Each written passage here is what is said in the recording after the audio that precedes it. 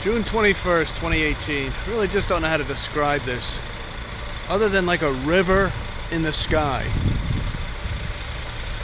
This is the strangest thing I've ever seen. If you ever looked at a river, this looks exactly like a river.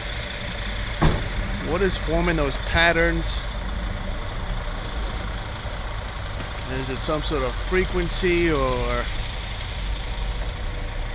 radiation? Just the strangest looking thing, let me tell you. Like a tributary of the mouth of the river. Very odd.